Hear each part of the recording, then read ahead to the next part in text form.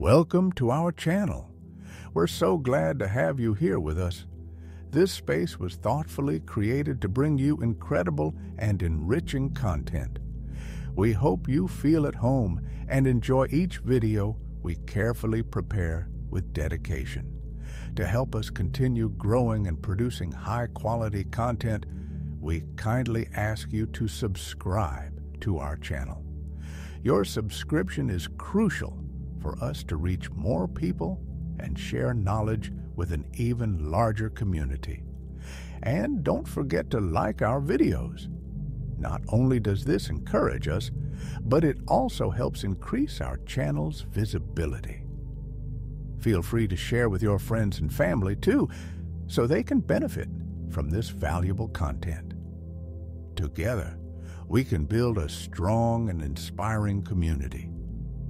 Thank you for being a part of this journey with us.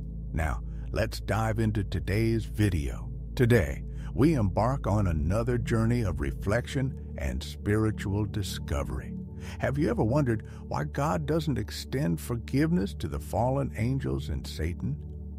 To answer this, we need to address a few complex questions, but don't worry. We'll break it down to make it easier to understand. The first question is if God created Satan as a good being, how did he end up committing evil? Think of it like building a flawless robot designed to do good, but one day it act out unexpectedly. You might wonder, how could something perfect do something wrong? This situation mirrors the case of Satan. Though created good, Satan had free will, just like us. He wasn't flawed, but his freedom allowed him to make his own choices, including rebelling against God. In today's video, we'll explore the profound question why didn't God forgive the fallen angels? Get ready for an intriguing discussion about the mysteries of theology and divine decisions. Let's dive deep into this complex topic and uncover the reasons behind these divine actions. This conversation will challenge your preconceptions and open up new perspectives, helping to strengthen your faith and deepen your spiritual connection. Before his rebellion, Satan or Lucifer was not the adversary we know today. He was once a powerful, radiant angel created by God, whose very name means light bringer or morning star. He held a significant position in heaven, revered among other celestial beings. While the Bible doesn't delve deeply into Lucifer's nature before his fall, passages like Ezekiel 28 give us insights into his beauty and wisdom, shedding light on his eventual rebellion. Lucifer's downfall is often attributed to pride, his desire to be equal to or even greater than God.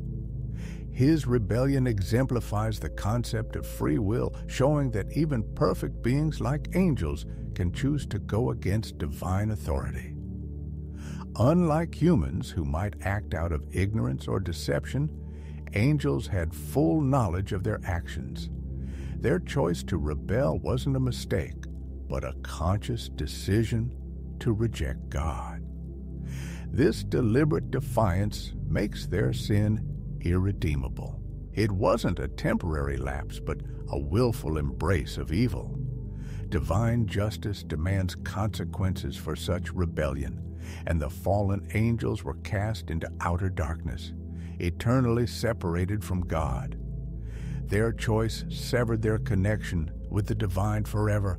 However, even in the midst of such severe judgment, God's mercy shines through, though not for the fallen angels, but for humanity.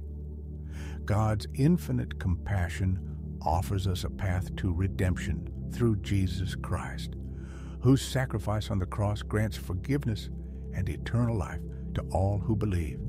The rebellion of the fallen angels serves as a powerful warning. It reminds us of the dangers of pride and rebellion, urging us to seek righteousness. As we reflect on the mysterious workings of divine justice and grace, we should humbly submit to God's will, trusting in His wisdom and mercy. The Bible assures us that God is merciful and compassionate, slow to anger, and rich in love. He doesn't treat us as our sins deserve, but offers us grace. As Psalm 103 reminds us, we can find peace, joy, and fulfillment only through Him. Now, how do you feel after diving into this story of Satan's rebellion and the fallen angels? I'd love to hear your thoughts in the comments below. These theological themes are fascinating and spark many different discussions and interpretations. Do you agree that Satan's rebellion was a conscious act of free will? How do you perceive divine justice in this context? Was the punishment of the fallen angels fair? And what about our relationship with God? How does it compare to that of the angels? I look forward to reading your insights. Don't forget to subscribe, like, and share this video with others who might be interested in these deep reflections. Your support is essential for our channel's growth. Thank you all for your ongoing participation and support. As we reflect on the expulsion of the rebellious angels and the celestial war that ensued, we encounter one of theology's most mysterious episodes. The war in heaven, often associated with Revelation 12, where Archangel Michael battles Satan, symbolizes the eternal struggle between good and evil, both in the spiritual realm and in our own lives. Let this serve as a reminder of the choices we face daily and the importance of walking in righteousness. Together, Let's explore these mysteries and grow in our understanding of divine grace and justice. The narrative of the war in heaven is one that transcends time, echoing deeply in, in our understanding of spiritual conflict and the cosmic struggle between good and evil. This tale of rebellion, led by Satan, illustrates not only the dangers of pride and ambition, but also the inevitability of justice in the face of defiance against divine authority. At the heart of this spiritual war lies the concept of free will. Satan, once a magnificent angel, made a conscious choice to challenge God's sovereignty. Unlike humans, whose sins may be influenced by weakness or ignorance, Satan's rebellion was a deliberate act of defiance, fully aware of the consequences that would follow. His pride and desire to ascend above God's throne led to a cosmic upheaval, altering the course of spiritual history. Yet the symbolism of this story goes beyond just an ancient battle. It mirrors the choices we face in our lives today.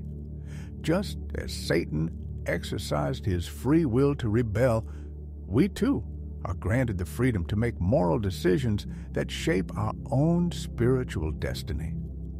The war in heaven serves as a reminder of our responsibility to stand against temptation and to align ourselves with truth and righteousness. One significant aspect of this tale is God's refusal to forgive Satan and the rebellious angels. Unlike humans, who are offered redemption through sincere repentance, the fallen angels remained steadfast in their rebellion. This decision underscores the severity of their sin, rooted deeply in pride and a direct challenge to God's authority. It also highlights a fundamental principle of divine justice. Some transgressions, especially those committed with full knowledge and intent, cannot be overlooked. God's decision not to extend forgiveness to these cosmic rebels is not a sign of lacking mercy, but a demonstration of his unwavering commitment to maintaining the moral and spiritual order of the universe. Forgiving such deliberate rebellion would have disrupted the balance of divine justice, potentially encouraging further disobedience among other heavenly beings. In contrast to the fallen angels, humanity is given the opportunity for redemption through the sacrifice of Jesus Christ. This offer of salvation showcases the depth of God's love and mercy for His creation, allowing humans to reconcile with Him despite our flaws and failures. In this light, the war in heaven serves not only as a cautionary tale about the consequences of defiance, but also as a testament to the boundless grace available to those who seek it. As we reflect on this profound story, we are encouraged to examine our own lives. Are we choosing humility, obedience, and devotion to God in our actions? The fall of Lucifer and the rebellious angels challenges us to learn from their mistakes, to remain vigilant against pride, and to pursue righteousness in our spiritual journey.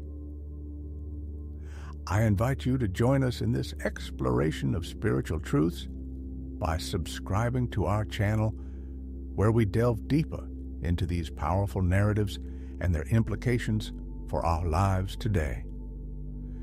We'd love to hear your thoughts and reflections. How does this cosmic battle resonate with your own spiritual journey? Feel free to share your opinions and insights in the comments below and let us know what other themes or topics you'd like to explore in future videos. Together, we can continue to seek wisdom, grow in understanding, and align ourselves with the divine purpose laid out for us. Let's stay on this path of spiritual discovery, always striving for the truth and light that guide our way. The narrative of Lucifer's fall is a profound reflection on the nature of pride, rebellion, and the consequences of disobedience to God. Lucifer, once a radiant and exalted angel, allowed pride and ambition to lead him astray, resulting in his rebellion against God. The biblical passage from Isaiah 14:12 to 15 captures this tragedy, showing how his desire to ascend and rival God led to his ultimate downfall. His fall from grace is not just an isolated event, but carries deep cosmic and spiritual significance, echoing through the ages and influencing both the spiritual and human realms. Lucifer's story serves as a sobering reminder of the dangers of pride and the seductive power of sin. Even those in the highest spiritual positions can fall if they lose sight of humility and submission to God. This lesson extends beyond the celestial to human experience, warning us to guard against spiritual arrogance and overconfidence. However, amidst the darkness of Lucifer's rebellion, there is also a message of hope and redemption. God's sovereign plan allows for the possibility of forgiveness and restoration for those who turn back to Him in humility and faith. While Lucifer chose the path of rebellion, humanity is offered the opportunity to seek redemption through Jesus Christ. This divine grace reminds us that no sin is beyond God's mercy if we choose to repent and submit to His will.